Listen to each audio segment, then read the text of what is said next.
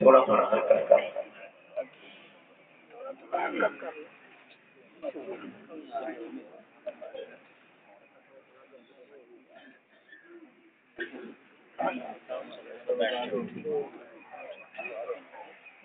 اللهم انت الملك لا شريك لك والفرد ولا ند لك. كل شيء خالق إلا وجهك لن تطاع إلا بأذنك. ولن توصى إلا بعلمك تطاع فتشكر توصى فتبعد اللهم صل على سيدنا وحبيبنا وشفيعنا وقائد غر المحجلين محمد وآله وأصحابه وأزواجه وعلى أمته أجمعين. أما فأعوذ بالله من الشيطان الرجيم. بسم الله الرحمن الرحيم. فأعرف من تولى عن ذكرنا ولم يرد إلا الحياة الدنيا. ذلك مبلغهم من العلم. میرے محترم بھائیوں، عزیزوں اور میری بہنوں اس کائنات میں سب سے بابرکت جگہ اور تجلیات الہی کا مرکز بیت اللہ ہے۔ پہلا گھر بھی ہے کائنات میں اور اللہ کا گھر بھی ہے۔ ہماری اصل زمین سے ہے اور زمین کی اصل بیت اللہ سے ہے۔ تو اللہ کی تجلیات کا مرکز اور اہم ترین جگہ کائنات میں بیت اللہ ہے۔ بیت اللہ کا کنیکشن اوپر بیت المعمور سے ہے۔ ساتویں آسمان پر جو فرشتوں کا قبلہ ہے۔ وہاں نور آ رہا ہے عرش الہی سے۔ اللہ کا عرش طول اور عرض کے اعتبار سے کائنات کی سب سے بڑی مخلوق ہے۔ اور یہ پوری جنت کی چھت بنے گا۔ جنت میں بھی جو نور اور روشنی ہوگی، اسی عرش الہی کی ہوگی، سورج کی نہیں ہوگی۔ وہ نور اہل جنت کو بھی نصیب ہوگا۔ اسی نور کا حصہ بیت المعمور پر بھی آ رہا ہے۔ اور وہی نور جو ہے، بیت اللہ پر آ رہا ہے۔ ہمارے بڑے اکابرین ان کے دل میں نورانیت بہت تھی اور اللہ نے دلی صفائی دی۔ تو حضرت شاہ ولی اللہ، بیٹا آرام سے بیٹھ جائے جس نے اٹھنا پہلے اٹھ۔ جائے حضرت شاہ ولی اللہ رحمت اللہ علیہ فرماتے ہیں، میں بیت اللہ گیا تو میں نے اپنی انہی آنکھوں سے، اسی آنکھوں سے بیت اللہ کی دیواریں نور کی دیکھی۔ اللہ۔ وہاں انوارات کی بارش ہے۔ اللہ تعالی شاہ نے بیت اللہ کو قیامن للناس کہا۔ یہ ساری دنیا کی جتنی مسجدیں ہیں، یہ بیت اللہ کی بیٹیاں ہیں اور وہی نور جو بیت اللہ پر آ رہا ہے، ساری دنیا کی مساجد میں تقسیم ہو رہا ہے اور اس میں جو عبادت کر رہے ہیں ہر ایک اپنے اخلاص تقوا اپنی طلب کے بقدر اس کے دل میں بھی وہی نور آ رہا ہے۔ اللہ تعالی شاہ نے بیت اللہ کو قیام للناس کہا کہ جب تک یہ بیت اللہ موجود ہے، یہ کائنات موجود رہے۔ جس دن بیت اللہ ختم تو نقارہ بچ جائے گا، قیامت آ جائے گی۔ ہمارے پاک نبی صلی اللہ علیہ وسلم نے فرمایا، مجھے اللہ نے دکھایا وہ حبشی آدمی، کافر آدمی جو اپنی فوج لے کر بیت اللہ کو گرانے آئے۔ گا مکہ مکرمہ کے باہر ایک جگہ ہے پیدا وہاں پیدا آئے گا تو فوج کا کچھ حصہ زمین میں دھس جائے گا۔ پھر یہ آئے گا اور بیت اللہ پر کدال مارے گا۔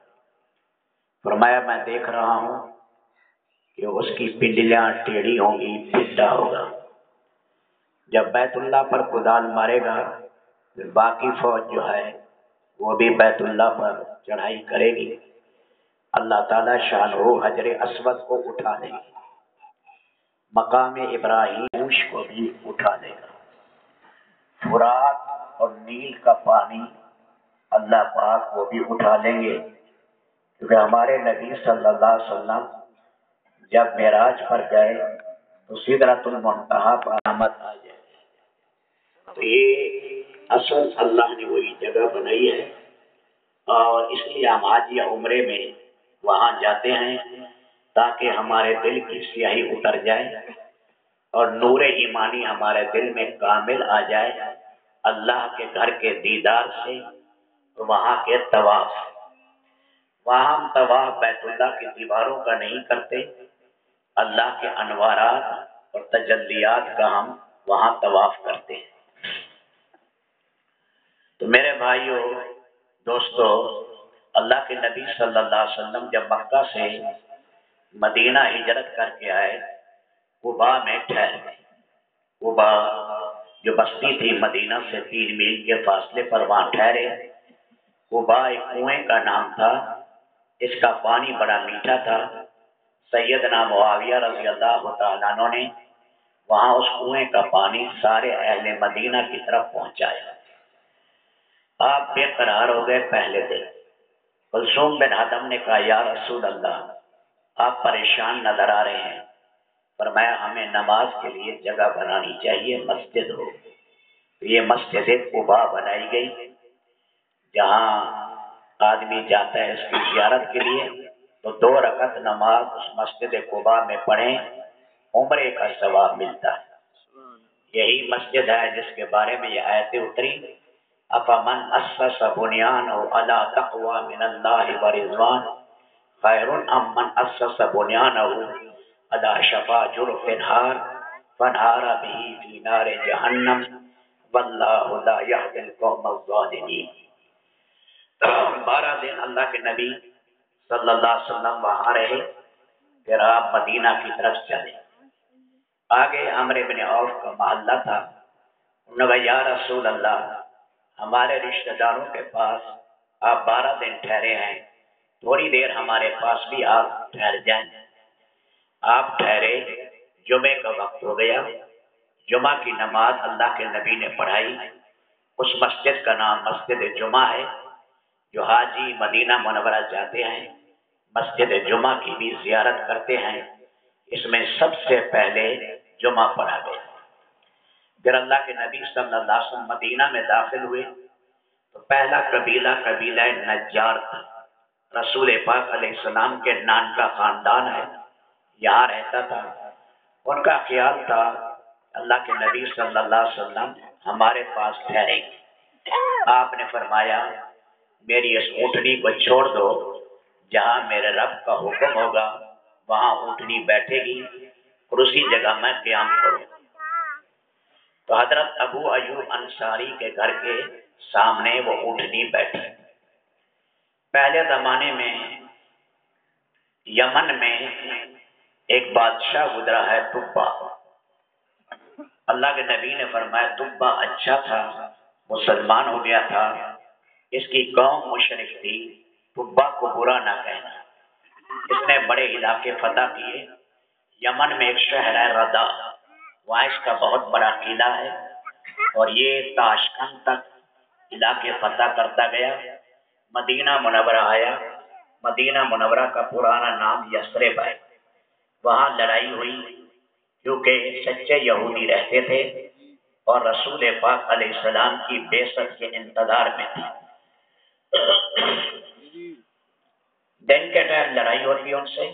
رات کو اہل مدینہ انہیں ضیافت کرتے اس نے کہا، شرم کی بات ہے کہ دن کے ٹائم میں ان سے لڑتا ہوں، رات کو یہ مجھے کھانا کھلاتے ہیں۔ تو کہا، میں ان سے لڑائی نہیں کرتا۔ جو یہود کے سچے علماء کے اس زمانے میں ان کا یہ وہ جگہ ہے جہاں نبی آخر زمان حضرت محمد صلی اللہ علیہ وسلم آئے۔ اس نے کہا، میں ان کے لیے مکان بنا دیتا ہوں۔ یہ دو منزلہ مکان بنایا، جو حضرت ابو ایوب انصاری کا گھر تھا۔ اسی میں اللہ کے نبی صلی اللہ علیہ وسلم پانچ مہینے یا ساڑھے پانچ مہینے رہے۔ ایک دن ٹھہرا یا دوسرے دن اللہ کا حکم آ گیا کہ مسجد بناؤ۔ مسجد بننے لگی مدینہ میں، یہی مسجد نبوی۔ اللہ کے نبی صلی اللہ علیہ وسلم نے فرمایا، یہ جگہ مسجد کی ہے۔ اللہ نے تعین کی ہے کہ یہاں مسجد بناؤ اس لیے کس کی جگہ؟ ہے سہل اور سہیل دو نوجوان تھے۔ انہوں نے کہا ہماری جگہ ہے۔ وہ جگہ مربت تھی، کھجوریں خوش کرتے تھے۔ انہوں نے کہا، یا رسول اللہ، ہم مسجد کے لیے یہ جگہ مفت دیتے آپ علیہ السلام نے فرمایا، نہیں، میں پیسے سے دوں گا۔ دس دینار رقم طے ہوئی اور یہ پیسے حضرت ابو بکر صدیق نے ادا کیے۔ یہ قیامت تک آقا علیہ السلام کو ثواب ملے گا۔ ابو بکر صدیق کو بھی ثواب ملے گا۔ بعد میں اس مسجد کی توسیع ہوئی عمر بن خطاب کے زمانے میں۔ پھر حضرت عثمان ذلرین کا زمانہ آیا۔ انہوں نے مسجد کو پکا بنایا۔ شاندار پتھر لگوائے، ساگوان کی لکڑی لگوائی۔ پہلے لوگ شور کرنے لگے کہ مسجد بنا رہے ہو یا کسرا کا محل؟ انہوں نے کہا، نہیں، اللہ کے گھر کو شاندار بنانا چاہیے۔ اس لیے سنت چلی۔ حضرت عثمان سے اللہ کے گھر کو بہترین بنایا جائے۔ یہ مسجد نبی انہوں نے شاندار بنائی۔ حضرت عمر ابن عبدالعزیز کے زمانے میں جب بارش آئی، جو یہ جگہ ہے جہاں آقا علیہ السلام آرام کر رہے ہیں، یہ ہمارا ایمان ہے عقیدہ ہے، اہل سنت والجماعت کا یہ جگہ جہاں آقا آرام کر رہے ہیں۔ اور ابو بکر صدیق، عمر فاروق، اس جگہ کا مقام بیت اللہ سے بھی زیادہ، اس کا مقام ساتوں آسمانوں سے بھی زیادہ اس کا مقام جنت اور اللہ کے عرش سے بھی زیادہ اللہ تعالیٰ تو مکان سے پاک ہے اسے کسی مکان کی ضرورت نہیں۔ اور یہ عرش بھی مخلوق ساتوں آسمان بھی مخلوق، جنت بھی مخلوق، بیت اللہ بھی مخلوق۔ اور رسول پاک علیہ السلام افضل الخلائق ہیں۔ ساری مخلوق میں سب سے بہترین یہ ٹکڑا کائنات میں سب سے اونچا ٹکڑا۔ بارش آئی۔ اما عائشہ کا یہ حجرا روز اقدس اس کے نیچے سے زمین سے کچھ جو ہے وہ مٹی گرتی رہی تو اس میں سیدنا عمر ابن خطاب کی ایڑی نکلی۔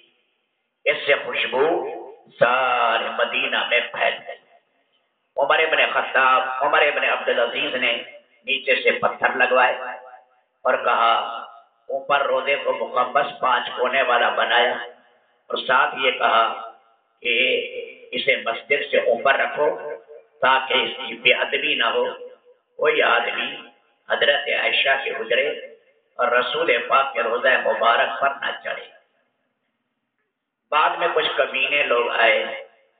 ان کا ارادہ ہوا، آپ علیہ السلام کا جسد اطہر ہم اپنے ملک میں لے جائیں۔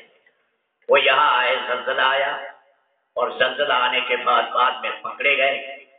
بادشاہ نے، ان تاقیہ اور شام کے بادشاہ نے انہیں گھوڑے کے دموں کے ساتھ باندھا اور پورے شام میں گھمایا۔ ان کے سارے چمڑے اتر گئے اور ساری دنیا کو عبرت ہوئی۔ اسی حال میں مرے پھر کچھ عرصے کے بعد مراکش کے دو عیسائی یہ آئے، جہاں اب ہم کھڑے ہو کر سلام پڑھتے ہیں۔ یہ اما جان حضرت حفصہ کا گھر ہے۔ صحابہ کرام ریاض الجنہ سے سلام پڑھتے تھے، یہاں حجرے تھے، یہ حجرے گرا کر ولید بن عبد الملک نے مسجد میں شامل کی تو جو اگلی دیوار ہے، وہاں قبلہ والی، اس کے ساتھ ہی مکان تھا، وہ دو عیسائی رات کے ٹائم چوری چوری غار لگا کر اور اسی سے مٹی نکال کے اور جنت البقی میں ڈالتے تھے۔ نور الدین زنگی کو نیک بادشاہ تھا، مصر میں خواب آیا، اللہ کے نبی نے فرمایا، یہ دو کمینے آدمی ہیں، مجھے ان سے بچاؤ۔ وہ وہاں سے چلے، باہر لمبا قصہ ہے، یہ دونوں آدمی پکڑے گئے، انہوں نے ان دونوں کو تلوار کے ذریعے ذبح کیا، مار ڈالا۔ اور پھر دو دو گز جگہ چھوڑ کر اما جان حضرت عائشہ کے حجرے سے کھدائی کی۔ اتنی کھدائی ہوئی کہ نیچے سے پانی رسنے لگا۔ تو سیسا، جس کی گولیاں بنائی جاتی ہیں بندوق کی، سیسے کی دھات پگلا کر ڈالی اور موٹی دیوار بنائی تاکہ قیامت تک کوئی کمینہ نیچے سے نقب اور سند نہ لگا سکے۔ یہ کام اللہ نے ان سے لیا۔ بعد میں کچھ بدبخت آئے۔ تو سیدنا ابو بکر صدیق اور سیدنا عمر ابن خطار کے مبارک جسم کو نکالنا چاہتے تھے۔ جہاں پر ممبر کھڑا ہے، جہاں چالیس آدمی پہنچے، رات کے دو تین بجے اللہ نے زمین کو حکم دیا۔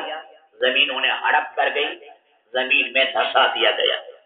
تو پھر بادشاہوں کو فکر ہوا اما جان کے حجرے کے باہر بھی مضبوط اوپر بنا دے۔ تو بادشاہوں نے یہ باہر مضبوط اوپر سے بنا دیا۔ ایک سوراخ بھی انگلی کے برابر نہیں چھوڑا۔ جیسے آدمی اندر دیکھے۔ پھر ایک رکن دین بادشاہ آیا۔ اس نے ستر اونٹوں پر جالی لایا۔ اور یہ جو روداقدس کے باہر جالی ہے، یہ جالی لگا دی گئی تاکہ اس کا جو ہے سارا، جو ہے پوری طرح حفاظت ہو جائے۔ پھر کوئی بد وقت نہ اوپر سے نیچے سے۔ کسی قسم کا ان مبارک حضرات کی طرف انہیں نقصان نہ پہنچا۔ سکتا اللہ کے نبی صلی اللہ علیہ وسلم کے زمانے میں یہ مسجد نبی بڑی مسجد تھی۔ مدینہ میں آٹھ اور مسجد۔ یہ اس کے ساتھ نو بن جاتی ہیں۔ وہ چھوٹی مسجد تھی۔ مسجد نبی بڑی تھی۔ عورتیں صرف مسجد نبی میں نماز پڑھنے آتی تھی تاکہ پردے میں سید القونین رحمت دو عالم کا دیدار بھی ہو جائے۔ آپ کی نصیحتیں بھی پیچھے پردے میں برقے میں، چادر میں سن لیں۔ باقی آٹھ مساجد میں خواتین نہیں جاتی تھی پھر آگے زمانہ آیا تو حضرت عمر ابن خطاب، حضرت عائشہ، عبداللہ ابن مسعود نے فرمایا، اب فطرے کا زمانہ آ گیا، عورت کے لیے گھر میں نماز پڑھنا افضل ہے، لہذا گھر کے اندر نماز پڑھیں۔ یہاں سے بھی خواتین جو جاتی ہیں، وہاں بیت اللہ کی زیارت یا مسجد نبی کی، ان کی کوئی نماز رہ جائے تو انہیں گھبرانا نہیں چاہیے۔ انہیں وہاں مدینہ کے اندر رہتے ہوئے، مکہ کے شہر میں رہتے ہوئے پوری نمازوں کا اللہ اجر دیتے تو وہاں پر عمر ابن عبدالعزیز نے کہا، اللہ کے نبی نے جہاں جہاں کسی کے گھر برکت کے لیے نماز پڑھی ہے، ان جگہ مسجدیں بنا دی۔ یہ مسجد بنی معاویہ، مسجد ابو سر مسجد عبد الرحمان بن او یہ ساری مسجدیں بنائی گئی پھر تبوک کے راستے پر بڑی بڑی بیس مساجد بنائی کیونکہ اس زمانے میں بادشاہ نیک ہوتے تھے، تو بادشاہ بھی آتے۔ پہلا کام وہ تعلیم کا کرتے تھے کہ جہاں قرآن سیکھا جائے، قرآن سکھایا جائے، اللہ کی عبادت کی جائے۔ تو مسجد کی فکر کرتے، جو شہر بھی پتہ ہوتا، بادشاہ اس کا پورا اہتمام کرتے تھے۔ کہ یہاں پہلے اللہ کا گھر بنایا جائے۔ شام اور مصر، یہ حضرت ہمارے میرے خطاب کے زمانے میں پتہ ہو گیا اور عیسائیوں کا ایک بہت بڑا گرجا تھا، اس کا سیاح بڑا لمبا تھا۔ آدھا مسلمانوں نے اپنے زور بازو پر فتح کیا، آدھا رہ گیا۔ تو وہ عیسائیوں کے پاس رہا، صلح کر لی انہوں نے۔ جب ولید بن عبد الملک ہے عبد الملک بادشاہ تھا بائیس سال اس نے حکومت کی۔ پورا افریقہ، پورا ایشیا اور کچھ حصہ یورپ کا پرانے زمانے میں اسے روم کہتے تھے۔ اور بعد میں اب اس کا نام یورپ ہے۔ یہ جتنے بڑے اعظم ہیں، ان میں بڑا بڑے اعظم خشکی کا بڑا ٹکڑا ایشیا کہلاتا ہے۔ یہ جو ماہرین ہیں، سائنسدان، انہوں نے اندازہ لگایا، ساری زمین کی لمبائی کی جہازوں کے ذریعے پیمائش کی۔ یہ کہتے ہیں، زمین کی تقریباً پیمائش، یہ زمین اس گولدارے میں، چکر میں ہے۔ اب ہم اوپر بیٹھے ہیں، امریکہ ہمارے نیچے ہے۔ تو اس کا اندازہ لگایا، تقریباً یہ خشکی کی جگہ جو زمین کی ہے، یہ بیس کروڑ میل ہے۔ بیس کروڑ میل۔ پھر باہر سمندر ہے، نیچے بھی پانی ہے، سمندر ہے، ان سمندروں میں پانی ہے۔ یہ زمین خشکی انتیس حصے ہے، اکہتر حصے پانی ہے۔ سب سے بڑا سمندر باہر محیط ہے۔ اسے بحر کاہل بھی کہتے ہیں۔ وہ ساڑھے چھ سو کروڑ میل میں ہے۔ دوسرا سمندر بحر ظلمات ہے۔ اسے بحر اوکیانوس بھی کہتے ہیں۔ ساڑھے تین کروڑ میل میں ہے۔ پھر منجمد شمالی ہے۔ منجمد جنوبی ہے۔ یہ باہر اللہ نے سمندروں کا نظام رکھا ہے۔ میں اس بات کو بعد میں پورا کروں گا، یہاں آگے ذرا تھوڑا سا سن لیں۔ اللہ کا ایک نظام ہے، سمندر کا پانی ہر وقت حرکت میں رہتا ہے۔ پانی حرکت میں رہے تو بدبودار نہیں ہوتا۔ دوسرا، سمندر کا پانی اللہ نے کھاری بنایا۔ کھاری ہے سمندر کا پانی اور نمکین ہے۔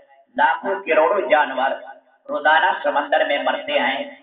اگر سمندر کا پانی میٹھا ہوتا تو بدبو اٹھتی اور خشکی بدبو اٹھتی تو خشکی جو ہے، اس کے اندر رہنے والے انسان مر جاتے اللہ نے پانی سمندر کا کھارا بنایا، نمکین بنایا۔ اگلی بات، اللہ کا نظام ہے، ہوا چل رہی ہے سمندر پر۔ اوپر سورج کی تپش پڑ رہی ہے، سمندر پر بلبلے بن رہے ہیں۔ پہ بلبلے بنتے ہیں، پھر بھاپ بن کر بخارات بن کر اوپر جاتے ہیں۔ اور یہی سمندر کے بخارات اللہ بادلوں کی شکل میں اللہ تبدیل کرتے ہیں۔ اللہ کا ایک نظام ہے، رب العالمین۔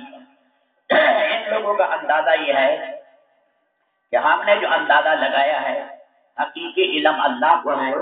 ہمارے اندازے کے مطابق تقریباً دو کروڑ ساٹھ لاکھ ٹن دو کروڑ ساٹھ لاکھ ٹن ایک سیکنڈ میں پانی بخارات بن کر اوپر جاتا ہے۔ ایک گرجنے والا جو بادل ہے، جو گرجتا ہے، اس میں تقریباً ایک کروڑ نہ تین لاکھ ٹن، تین لاکھ ٹن پانی ہے۔ ایک اوسط درجے کے گرجنے والے بادل کے اب یہ اوپر جو جو جائیں گے، تو آگے فضا ٹھنڈی ہوگی۔ ہر پانچ کلو میٹر پر اور ٹھنڈک پھر پانچ کلو میٹر پر اور ٹھنڈک اوپر بلندیوں پر جب جائیں گے تیس ہزار، چالیس ہزار فٹ کی بلندی پر، اللہ پاک ان بخارات کو انجماد زیرو سینٹی گریڈ سے بھی نیچے کر دیتے ہیں۔ لیکن وہاں بھی یہ برف نہیں بنتے۔ چھوٹے چھوٹے ٹکڑے ہوتے ہیں۔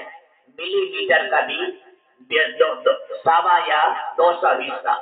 پھر اللہ اپنی کمال قدرت کے ساتھ، نمک بھی ساتھ ہی جاتا ہے۔ نمک کی وجہ سے پانی وہاں جمتا ہے اور نمک کی وجہ سے صفائی آتی ہے اور پھر بارش برستی ہے۔ یہ بارش اپنے ساتھ کھاد اور کلر لاتی ہے۔ اسی میں یہ خوردنی نمک بھی اترتا ہے، اسی میں پوٹاشیم بھی ہے اور اسی میں جو ہے، اسی کے اندر کیلشیم بھی آ رہی ہے، اسی میں آئرن بھی آ رہا ہے، اسی میں سیسا بھی آ رہا ہے۔ یہ لوگ بتاتے ہیں، اندازہ یہ ہے تقریباً دو کروڑ ٹن سے زیادہ بارش اپنے ساتھ یہ کھاد لاتی ہے، زمینوں کی طاقت کے اللہ کا ایک حیرت انگیز نظام ہے، یہ ہوائیں جو ہیں، ٹنوں کے ٹن بادل ہیں۔ اب تین سو ٹن پانی ہے اور بھگائے جا رہی ہیں۔ اللہ کا جہاں امر ہوتا ہے، وہی یہ برستا ہے۔ تو بات کر رہا تھا کہ ولی ولید کے جو والد تھے، وہ تھے عبد الملک انہوں نے بائیس سال حکومت، یہ سارا ایشیا ایشیا کی لمبائی، ایشیا شروع ہوتا ہے، سری لنکا، سارا China Thailand, India, Pakistan, Afghanistan, سارا ایران، عرب امارات، یمن، سعودیہ، آگے شام، اور پھر اس کے بعد فلسطین تک، مصر، افریقہ میں چلا گیا۔ اور اسی طرح یمن کے آخر پچھلا حصہ وہ افریقہ میں ہے اس کے بعد افریقہ لمبا بر اعظم ہے وہ ایک جنگل ہے، ساڑھے چار ہزار میل تک دنیا کا سب سے بڑا جنگل افریقہ کے اندر ہے۔ اللہ تعالیٰ نے پانی زیادہ رکھا اور رب العالمین نے خوشی تھوڑی رکھی ہے۔ تو جب ولید بن عبد الملک کا زمانہ آیا، ایسا زمانہ تھا، اس نے کہا، اعلان کر دیا کہ میری پوری مملکت میں آپ کوئی نبینہ دکھا دیں۔ آپ کوئی اپاہج دکھائیں جسے بیت المال سے وظیفہ نہ مل رہا اور اس جب یہ پہنچے مصر میں اور شام میں ان کا ارادہ ہوا، میں اپنی زندگی میں ایک بہترین مسجد بنا کر جاؤں، جو دنیا کی بہترین مسجد ہو یہ جامع عمومی بنائی، اس زمانے میں اندازہ لگایا بیس ہزار آدمی وقت اس میں نماز پڑھ سکتے۔ جامع عمومی دو کروڑ روپیہ دینار لگایا اس زمانے میں کھدائی کرائی۔ اس کی بڑی شاندار عیسائیوں کا گرجا لے لیا۔ انہیں دور جو ہے گرجے کی زمین دے دی۔ اسی کھدائی کے دوران حضرت یحییٰ علیہ السلام کا سر مبارک نکلا صندوق درو شریف پر۔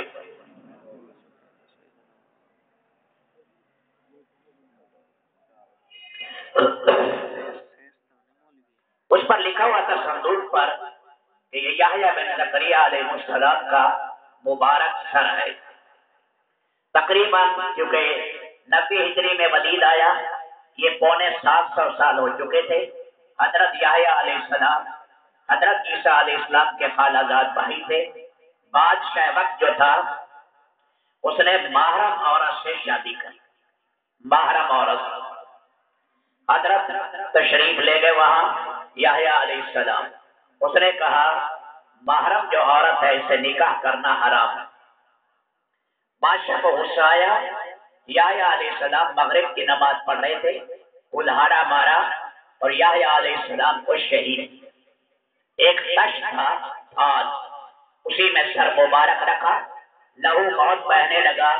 جب وہاں بادشاہ کے دار خلافہ میں لے گئے عورت دیکھتے ہی اٹیک ہوا عورت پر۔ ادھر دیکھے کوئی آئے جا ادھر دیکھے عورت پر اٹیک ہوا، وہ عورت وہی مر گئی۔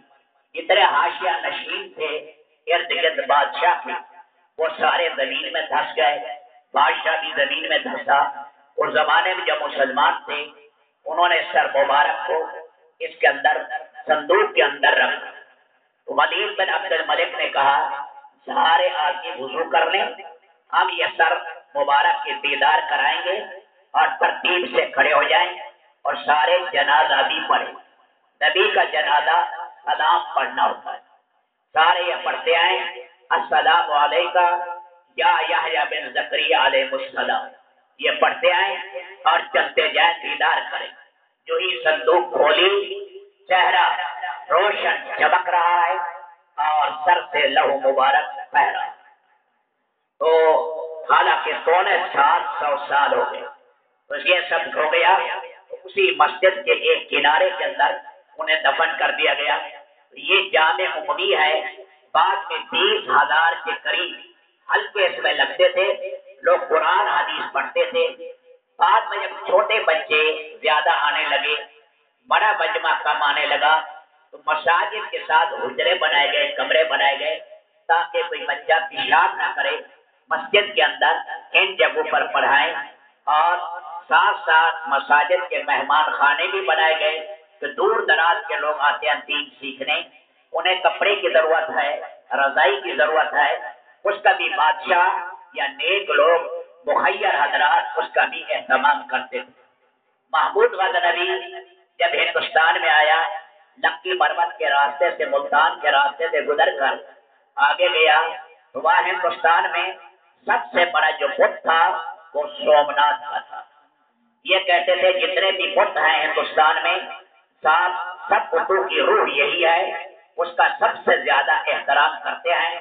اور وہاں پر ایک پنڈر خانہ بنا ہوا تھا۔ انہوں نے بنایا عبادت خانہ۔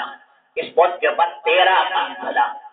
تیرہ تیرہ منزلہ مندر تھا۔ بہت بڑا بنایا۔ اور دس ہزار دیہات یعنی دس ہزار موزے ان کی آمدنی اس پر لگاتے تھے۔ جب محمود غزنوی وہاں گئے انہیں اس مندر سے تقریباً دو سو سکہ، دو سو دو ہزار دینار یعنی سونے کا سکہ ملا۔ دو سو من چاندی ملی مندر سے وہ اٹھائی ایک پنجرا تھا، جس میں ایک چڑیا تھی، جو کسی کو زہر دی جاتی تو وہ چڑیا رو پڑتی، آنسو بہاتی۔ ایک پتھر ملا جسے پانی میں ڈالتے، آخر میں گاڑھا پانی اس سے نکلتا اور وہاں ایک دیا ملا محبوب غدنبی کو۔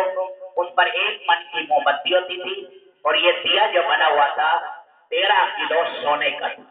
محمود اپنے علاقے میں لے گئے۔ تقریباً تین سو ہاتھی، پچپن سو قیدی لے کر غزنوی میں گئے۔ رات کے ٹائم بادشاہ جو پہلے زمانے کے ہوتے تھے، دیش بدل کر عوام کا حال دیکھتے۔ رات کے ٹائم محمود چکر کاٹ رہے ہیں، کوئی طالب علم قرآن حدیث یا اس کی تفسیر یا حدیث کی کوئی کتاب پڑھ رہا تھا، کسی گھر سے روشنی آ رہی۔ نے پوچھا، بیٹا، یہاں کیوں بیٹھے؟ اس نے کہا، میری اتنی ہمت نہیں ہے کہ میں دیا خرید سکوں۔ اس روشنی میں میں مطالعہ کر رہا ہوں۔ محمود کے بارے میں دو باتیں اسے شک میں ڈالتی تھی ایک میں لوگ کہتے تھے، یہ سبق دین کا بیٹا نہیں۔ دوسرا حدیث علماء وارثت الانبیاء۔ علماء انبیاء کے وارث ہیں، یہ حدیث سچی ہے یا نہیں؟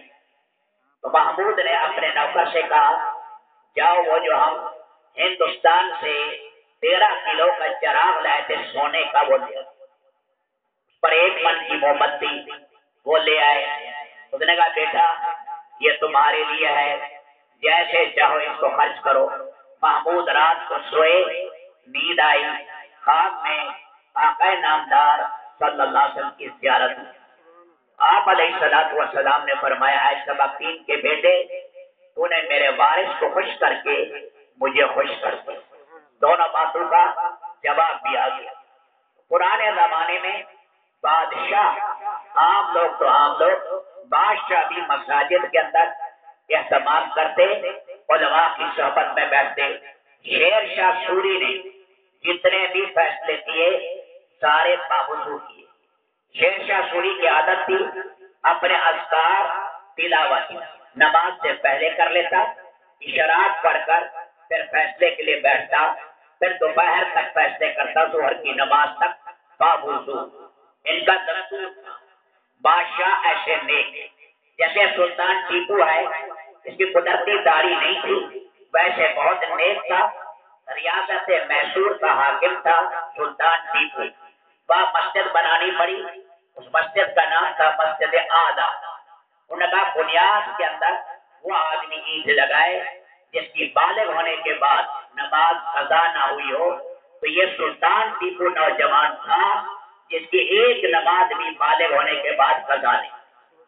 کس نے اس مسجد اعلیٰ کی بنیاد رکھا ریاست میسور میں تھا اور جب انگریز یہاں آیا، انگریز کا ہمیشہ سے میرے دوستوں یہ دستور ہے کہ جب بھی کسی علاقے کو فتح کرنا چاہتا ہے، مسلمانوں پر غلبہ حاصل کرنا چاہتا ہے، تو مسلمانوں کے بے دین طبقے کو خریدتا ہے خرید کر پھر آگے کام کو چلاتا ہے۔ سید احمد جب اوپر سندھ سے گزر کر پانچ سو کی فوج لے کر کندھار گئے۔ کندھار سے پشاور تک رنجیت سنگھ کی حکومت تھی۔ وہاں آئے۔ ایسے بڑے نیک لوگ تھے کہ رات کے ٹائم ان کے سینوں سے اندر قلب سے دور نکلتا، قرآن کریم کے اوپر پڑتا تھا۔ ایسے نیک لوگ تھے، انہوں نے وہاں حکومت خلافت الہیہ قائم کی۔ پشاور میں، نوشہرہ میں پھر اس کے بعد یہ دوسرے علاقے چار سدہ ہے، آگے آئے۔ تو یہ گھبرایا۔ رنجیت سنگھ۔ اس نے کہا، انگریز سے، انگریز نیا نیا آیا تھا کہ یہ مسلمان چڑھے آ رہے ہیں۔ تو یہ پنجاب میرے ہاتھ سے نکل جائے گا۔ مجھے کامیابی کا طریقہ بتاؤ۔ انگریز نے اپنا مفاد پہلے نکالا۔ اس نے کہا، پنڈی میں ہمیں ایک مرکز اور چھاونی بنا دیں۔ اس نے کہا، ٹھیک ہے، بنا دو۔ کہا کہ اگر تم مسلمانوں کو مار دینا چاہتے ہو، تو ایک طریقہ جو خوانین بے دین ہے بے دین خان اور بے دین بڈیرے۔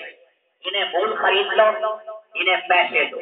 یہ پیسے پر بڑی جان دیتے بے دین خوانین پیسے پر بڑی جان دیں گے۔ اور یہ سید اسماعیل شہید اور سید احمد شہید جو تھے، ان سے ہٹ جائیں گے۔ اور راستے کے اندر سارا تمہیں راز دے دے۔ ایسے ہوا ان خوانین نے جو بے دین تھے، انہوں نے راستے بتائے، اور سکھ غالب آئے اور مسلمان بالا کوٹ میں شہید ہمیشہ سے باطل کے طریقہ کار ہے اب عرب عجم، سب ان کی کالونیاں بنے ہوئے ہم اس لیے کہ انہوں نے عربوں کو بھی خریدا ہوا ہے، ہم اجمیوں کو بھی خریدا ہوا ہے۔ اور اس کے ساتھ ساری دنیا میں جیسے کہتے ہیں میں انہیں تقسیم کرو اور حکومت چلاؤ اسی طرح کیا۔ خلافت عثمانیہ کاٹی عربوں کو لالچ دیا کہ تمہیں بڑی خلافت دیں گے۔ پھر کیا کیا؟ یہ یہ ہے قطر علیحدہ بنا دیا، بحرین علیحدہ بنا دیا، کویت علیحدہ بنا دیا، عرب امارات علیحدہ بنا دیے، یمن علیحدہ کر دیا، سعودیہ علیحدہ کر دیا، سوڈان علیحدہ کر دیا، لبنان علیحدہ کر دیا۔ مصر علیحدہ کر دیا، لیبیا علیحدہ کر دیا، فلسطین علیحدہ کر دیا، آگے مراکش علیحدہ کر دیا موریتانیہ علیحدہ کر دیا، ٹکڑے ٹکڑے کر دیا۔ کیونکہ خلافت عثمانیہ تو آدھے روم سے بھی زیادہ یوگو سلاویہ وغیرہ سب خلافت عثمانیہ میں تھے۔ تو انہوں نے مسلمانوں کو لالچ دیا اور خلافت عثمانیہ توڑائی۔ تو بات کر رہا تھا سلطان ٹیپو۔ اب اس کو ہرانے کے لیے انہوں نے کیا چال چلا جو بری فوج کا بڑا تھا، میر جا کر صادق، اسے خرید لیا، پیسے دے دیے، خرید لیا، کہ فوج میں تو نے بغاوت کر۔ اور قلعے کا راز ہمیں بتا راستے بتا۔ دوسرا تھا غلام علی لنگڑا۔ یہ باہری فوج کا بڑا تھا اسے خرید لیا۔ ایک میر کمرو زما تھے۔ ایک میر معین الدین تھے یہ سلطان ٹیپو کے ماموں تھے انہیں بھی خرید لیا۔ ایک پورینا تھا، یہ وزیر مالیات تھا، تنخواہیں دیتا تھا، اس کو بھی خرید لیا۔ اس طرح خریدتے گئے، یہ سارے بک گئے۔ حتیٰ کہ جس قلعے میں سلطان تھا، اس کے سارے راز انہوں نے دے دیے۔ اپنی فوج کو وہاں سے ہٹا لیا۔ سلطان ٹیپو اکیلا تھا، حتیٰ کہ آخری وقت میں وہ چھاگل میں پانی ختم ہو گیا۔ وہ پانی لینا چاہتا تھا، لیکن پانی پلانے والے بھی مول خرید لیے۔ اسی حال میں سلطان ٹیپو شہید ہوئے۔ جان دی سترہ سو ننانوے میں اس بر صغیر کا یہ سپوت اور عظیم انسان وہاں شہید ہوا۔ جب قبر بنی، انگریز نے وہاں ناچ نچے کہ آج جس سے ہم ڈرتے تھے، وہ آج ہندوستان سے ختم ہو گیا۔ جس کی آواز تھی کہ ادھر کی ہزار سالہ زندگی سے شیر کی ایک دن کی زندگی بہتر ہے۔ تو بات کر رہا تھا کہ بادشاہ بھی جہاں آتے، وہ بھی پہلے ان چیزوں کا خیال کرتا ابن بتوتا ایک جو ہے سیاح گزرا مراکش کی۔ ساری دنیا کا چکر پورا کیا اس کا سفر نامہ بھی لکھا ہوا ہے۔ عمر ابن عبداللہ اس کا نام ہے۔ یہ جب پہنچا ہندوستان میں یہ لکھتا ہے اپنے اس سفر نامے میں کہ ہندوستان کا عدل سنا وہاں پر کہتے جب آیا محمد تغلق کا زمانہ تھا۔ محمد تغلق نے ایک نوجوان کو پیٹا اور مارا۔ نوجوان نے جج اور قاضی کے سامنے شکایت کی، یہ دیکھو مجھے نشانات آئے اور بادشاہ نے مجھے مارا۔ بادشاہ کو قاضی نے بلایا۔ قاضی یہاں بیٹھا ہے، بادشاہ نیچے سامنے بیٹھا۔ اسے کہا، اب مدعی لڑکا ہے، بادشاہ مدعا علیہ ہے۔ اس نے کہا، یہ مارا ہے۔ اس نے کہا، معاف کرو، تمہاری مرضی ہے، یا تم بدلہ لے دو۔ محمد تغلق نے کہا، میں تیار ہوں، تاکہ میں آخرت کے عذاب سے بچ۔ آخرت کے عذاب۔ نوجوان کے ہاتھ میں چھڑی تھی۔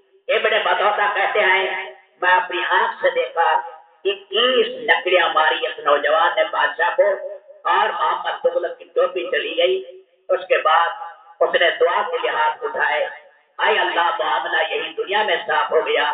آخرت کے آزاد سے میں بچ بادشاہوں میں بھی یہ نیکی کے اللہ پاک نے جذبات رکھے تھے تو میرے محترم دوستو، ہم اپنا تعلق قرآن سے، مساجد سے مستحکم کرنا، یہ ایمان کی بڑی نشانی ہے۔ آج مادیت کی بہر ہوا چلی ہوئی ہے۔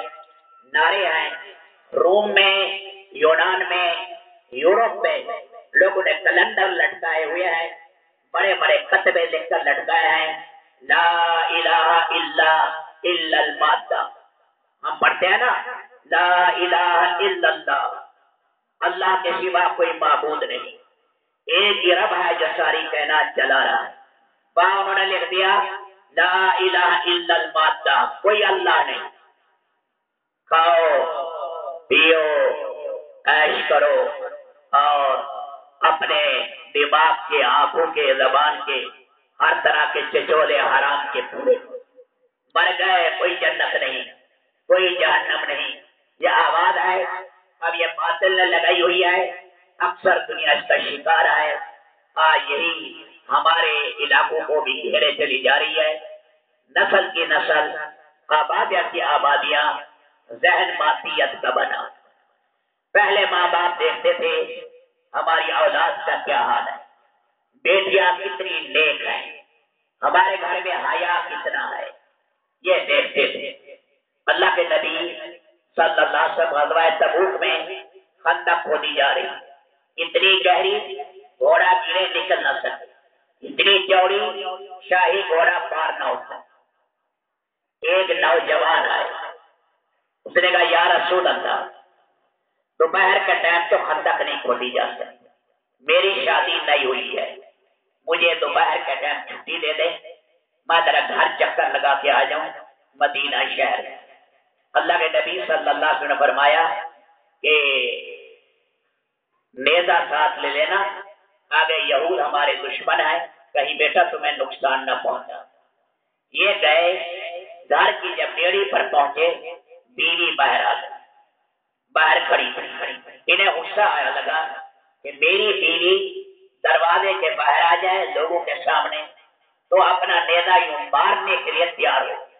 کہ میری غیرت اس کو برداشت نہیں کر بیوی نے کہا، اف رومات نیزا ذرا پیچھے رکھیں، اندر تو جا کر دیکھو پہلے۔ اندر تو دیکھو کیا ہے۔ اندر گئے تو ایک چار پائی پر سات کنڈل مارے ہوئے گولائی نے پڑا ہے۔ اس صحابی نے، نوجوان نے جا کر اپنا نیزا مارا سانپ پر اور سانپ اس کے اندر پھنسا۔ باہر سیہن میں آ کر اس کو گاڑا۔ پس طرح بلحایا ہاں پھڑکا پڑ گیا۔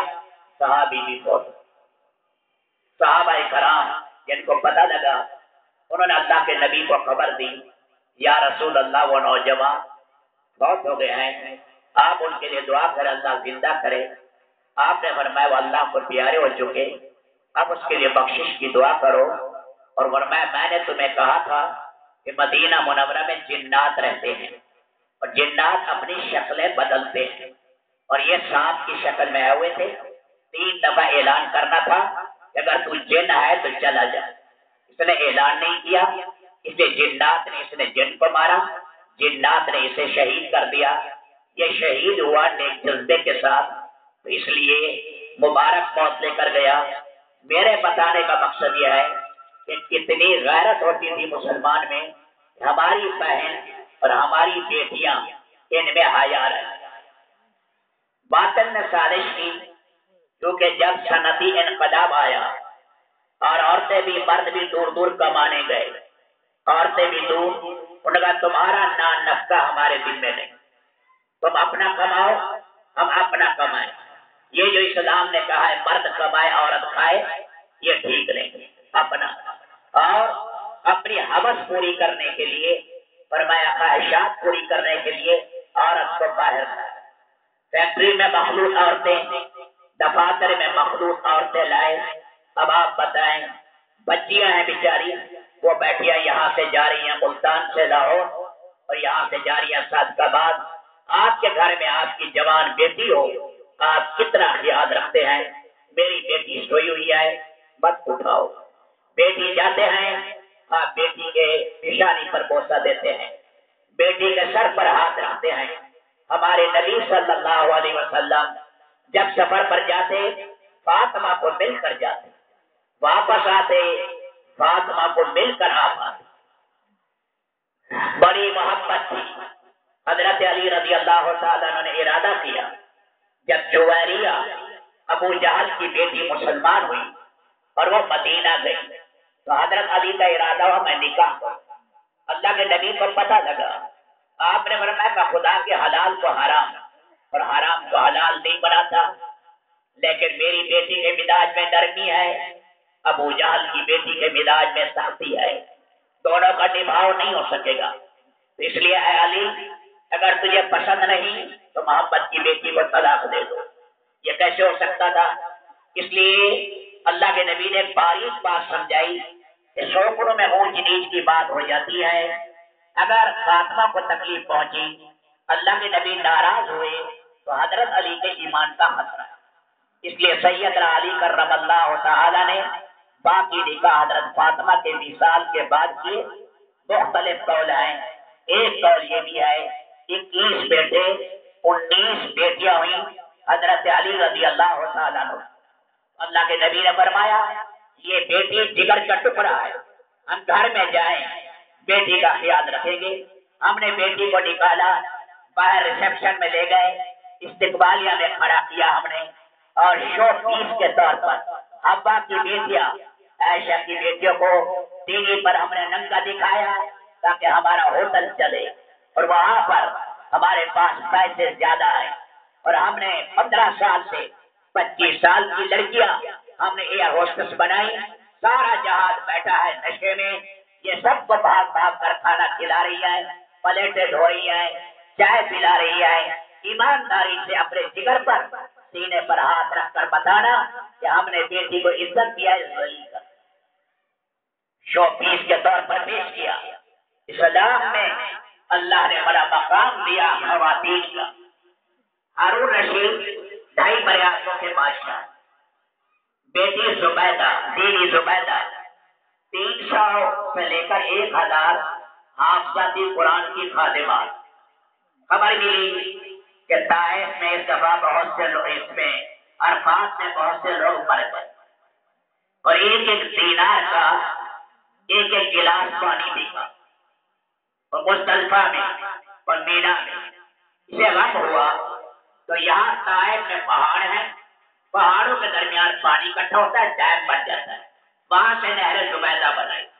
اور وہ نہر زبیدہ مکہ لے آئی۔ آج سے پچاس پچپن سال پہلے جو لوگ گئے ہیں انہوں نے نہر زبیدہ کا پانی پیا ہے اور پھر یہی رات لگائے، کنویں لگائے، مینا میں سارے حاجیوں کے لیے مستلفہ میں انتظام کیا۔ ابھی تک ٹوٹیوں کی جگہ جبل رحمت کے نیچے بنی ہوئی ہے اور وہاں پر حاجی آ کر پانی پیتے تھے۔ جو بھی پانی پیتا، وہ کہتا، آئے اللہ، اس خاتون کی بخشش کر۔ اس نے بڑا امت پر احسان کیا ہے حاجیوں کے لیے۔ جب فوت ہو گئی، کسی کو ملی، کیا بنا؟ کہ میرے رب نے بخش دیا اور جنت کی ہوائیں آ رہی ہیں۔ میں کس وجہ سے ایک دن آزان ہو رہی تھی، میرے سر سے دوپٹہ اترا ہوا۔ تھا آزان ہو رہی تھی، میرے سر سے دوپٹہ اترا ہوا تھا۔ تو میں نے حیا کی وجہ سے اللہ کا نام سنا، سر پر میں نے دوپٹہ کر سر پر میں نے دوپٹہ کیا، اس کی برکت اللہ نے فرمایا، میرے نام کی تو نے تعلیم و تقریب کی ہے، میں نے تجھے بخش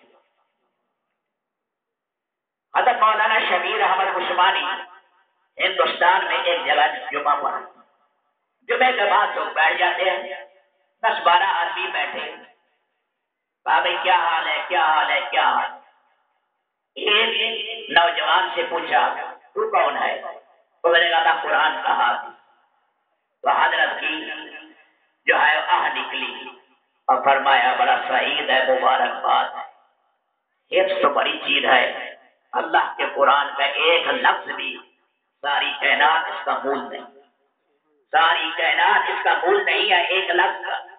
پھر کہا، میں تمہیں سناؤں کس کا کہ ہمارے قریب قبرستان ہے۔ یا قبر کھودی جا رہی تھی۔ تو اس سے پہلے حصہ یہ ہوا ہاں قبر کھودی جا رہی تھی۔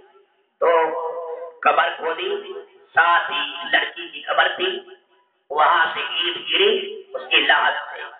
دیکھا سر و تازہ اور بیٹھ جب خوشبو آ رہی۔ وہ بھاگتے ہوئے آئے۔ مولانا کے پاس یہ قبر ہے، چھ مہینے ہو چکے ہیں، اس بچی کو ہم نے دفن کیا اور بہ کے آ رہی ہے خوشبو آ رہی۔ مولانا نے اس کی والدہ سے پوچھا، اس بچی میں کیا خوبی؟ ہے اس نے کہا کہ خوبیاں تو بہت تھی لیکن میں ایک بات بتاتی ہوں۔ میری بیٹی آخر میں اپاہج ہو گئی۔ میں بیت الخلا میں پکڑ کے لے جاتی۔ سانس چڑھ جاتا، پھر بٹھاتی رفا حاجت سے فارغ ہو کر آتی۔ وفات سے پہلے، دو تین دن پہلے میں لے کر گئی، لیکن بیٹھی نہیں کھڑی۔ جب پانچ منٹ گزر گئے، پھر بیٹھی۔ اپنے سجے سے فارغ ہوئی، پھر واپس آئی۔ سانس اکھڑا ہوا تھا، جب سانس اپنے حال پر آیا۔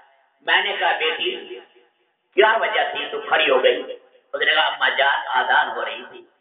اللہ کا نام آ رہا تو ماں اس کے لیے کھڑی ہو گئی۔ تو مولانا کہنے لگے ہاں ہاں اللہ کے نام کی تعظیم کی یہی برکت ہے۔ اللہ کا شکر ہے میرے دوستو، ہمارے ہندو پاک میں اور بعد ہمارے بنگلہ دیش میں یہ شکر ہے کہ مسلمان قرآن کا احترام کرتے اوپر رکھتے ہیں، چومتے ہیں، سینے سے لگاتے ہیں۔ ورنہ آپ بعض ملکوں میں چلے جائیں، وہاں پر قرآن نیچے رکھیں گے، سو جائیں اب حرم شریف میں بھی دیکھتے ہوں گے، بعد دفعہ ٹانگے بیت اللہ کی ادب بھی کوئی چیز ہے۔ ادب بھی بہت سی چیزیں وجدانی ہوتی ہے ایک آدمی اپنے باپ کی طرف یوں پاؤں کر کے بیٹھے۔ کوئی گئے پیچھے کرو، کہ کہاں حدیث میں لکھا ہوا مجھے حدیث سے دکھاؤ۔